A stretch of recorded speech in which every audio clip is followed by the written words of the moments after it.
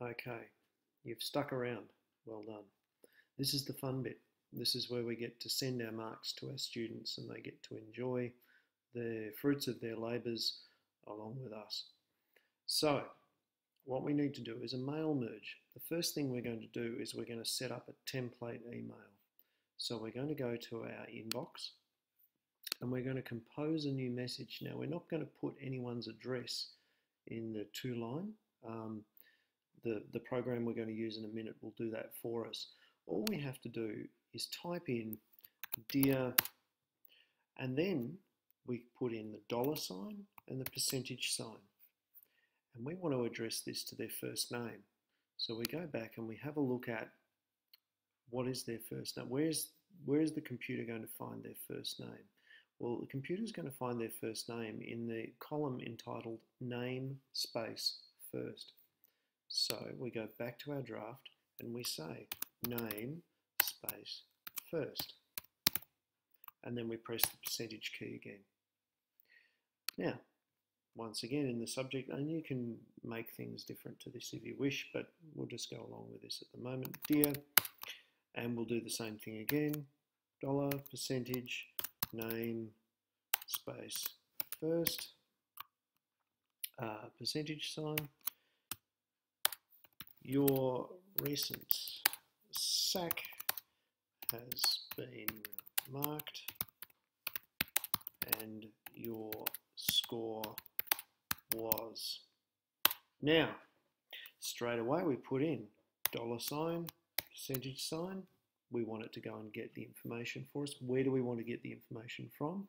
Let's go back and have a look at our uh, spreadsheet and we want to share their percentage with them. So we want to say, we want to tell the computer to look in SAC space 1 space percentage.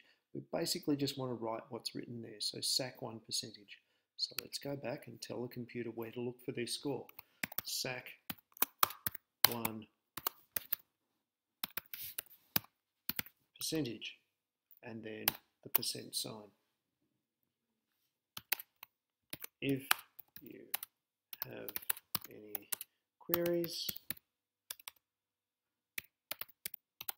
please do not hesitate to email or see me.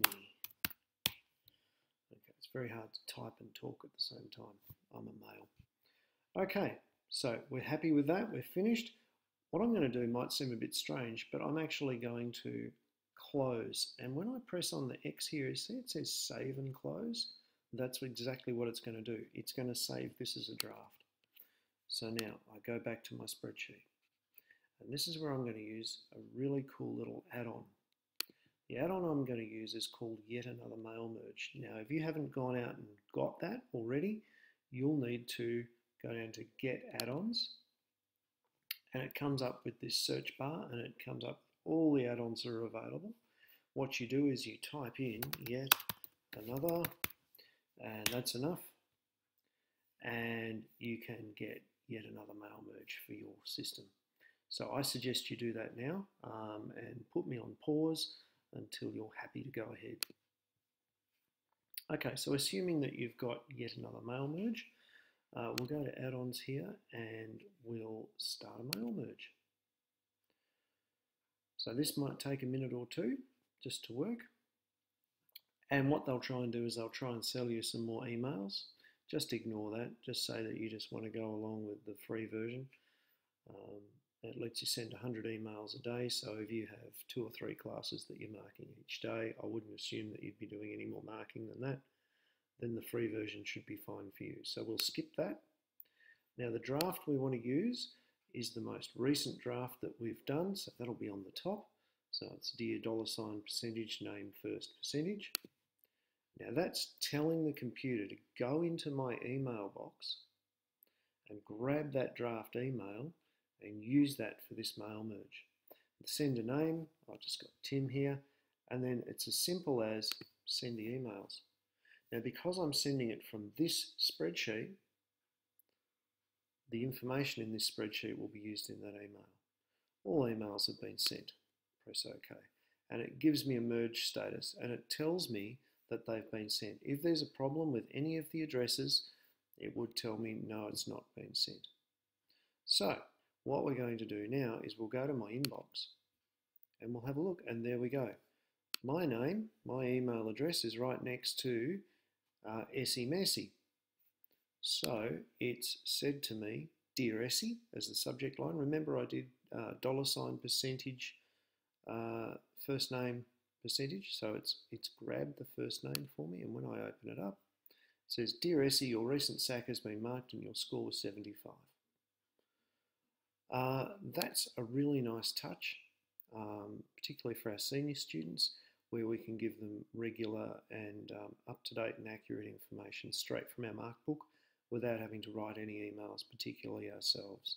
You write the one draft email and it gets sent with specific information to 26 different students or 25 different students or however many you have. So I found that a really useful little add-on in um, Google Sheets and I hope it's useful for you. Once again, just rewind this video, pause it as often as you want, uh, turn the sound off if you're sick of my voice and just watch the screen. All good. I hope it was helpful.